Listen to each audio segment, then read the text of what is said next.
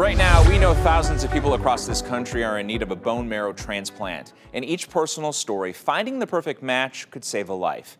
A Canton family knows all too well the anxiety of waiting. News 5's Bob Jones reports they need three perfect matches. You gonna take a nap?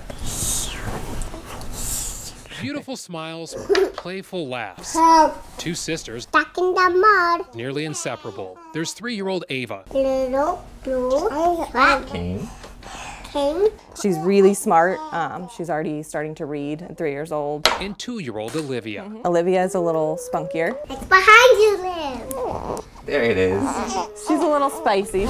Two weeks ago, baby brother Landon joined the Langenhop family in their Canton home. He seems to be a good, calm baby. Maybe take after Ava a little bit more, but we'll see. Mom Alicia and dad John, naturally, are proud. They're such sweet girls and um, just perfect in every way except for this one unfortunate flaw with their bodies. From the time Ava was a baby, she had a lot of illnesses, ear infections, and colds. But this year, something more serious. She started getting infections every time she would fall and get a scrape. Doctors at Cincinnati Children's Hospital would diagnose her with a potentially fatal blood disorder. Leukocyte adhesion deficiency, type 1. It's extremely rare, and I guess we're both carriers. Ava needs a bone marrow transplant. Olivia was tested as a possible donor, but it turned out she has the same genetic disorder. We're kind of in shock, um, kind of feel like we're living somebody else's life. Like there's one kid, now, now two of them. Alicia and John dealt with this devastating news while pregnant with Landon.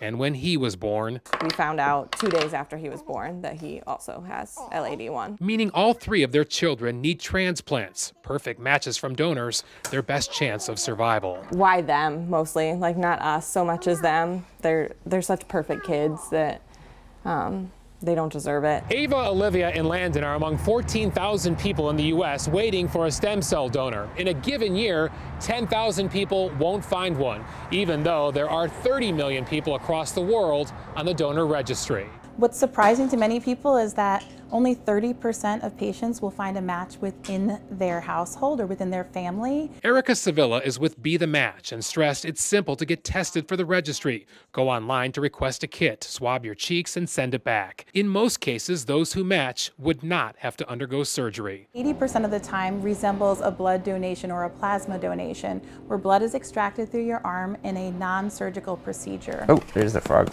Toad's muscles. For this family, missing work and mounting medical bills adds to the stress. As soon as we could find a match, um, then we could get the process started for them one at a time. And they continue to pray for news, matches that could save three siblings' lives. Even if it's not helping our children, there's tons of people out there that need a bone marrow transplant. Beep, beep, beep.